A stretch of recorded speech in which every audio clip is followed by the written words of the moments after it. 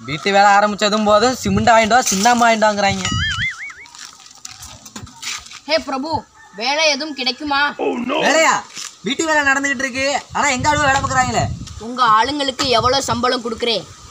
ஒரு ஆளுக்கு எழுநூறு எட்நூறுவா கேட்பானுவான் ரெண்டு பேருக்கு ஆயிரத்தி ஐநூறுரூவா கொடுப்பேன்.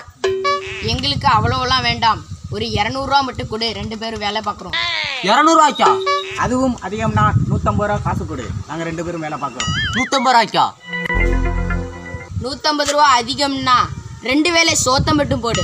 மூணு வேலை ரெண்டு வேலை போதும். ஒரு வேலை பானி குடிச்சுக்கிறோம். வேலையை மட்டும் கொடு. ரெண்டு வேளை சோறு மட்டும் போதுமா? அப்ப என்கிட்ட வேலை பார்க்குற ராமசாமி குப்புசாமி அடிச்சு வரட்டி விட்டுறேன். நீ வா வாயா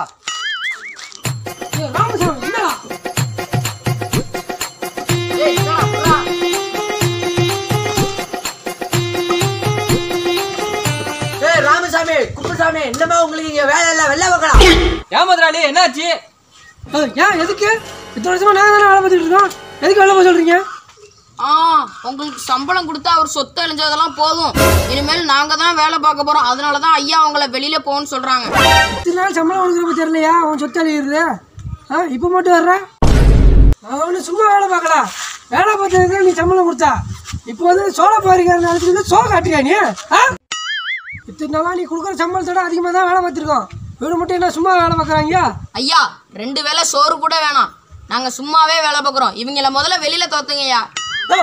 நீ எவெல்லாம் ஒரு ஆள்கிட்ட எவ்வளோ வேலை பார்த்துக்கிட்டு? உனக்கு ஆயிரம் பேர் இருக்கா வேலை கொடுக்க. வாயா நீ வெளியில் உட்காந்து வெட்ட வர வெட்டு.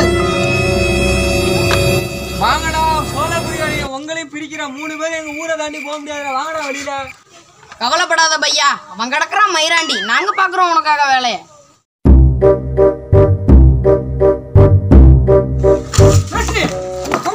வேலைக்கு வரணும்னு சொல்லிட்டா மேஸ்திரி. வந்து என்ன கேளுங்க மேஸ்திரி? ஆமா மிஸ்திரி. எங்களை துரத்தி விட்டு வடக்கன் வச்சு வேலை பார்க்குறாங்க மிஸ்திரி. நீங்கள் போங்க என்ன நான் பார்த்துக்க முடியாது. பையா இந்த பலகை எடு.